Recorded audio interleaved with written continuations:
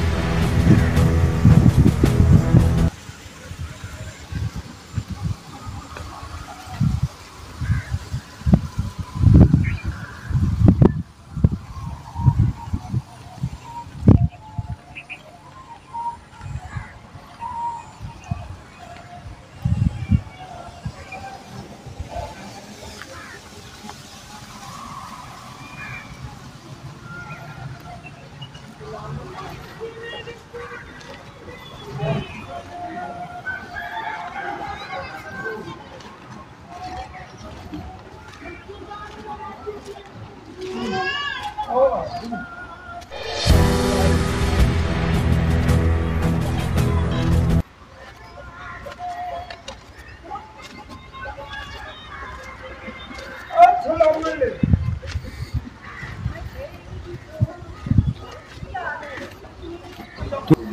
Yeah.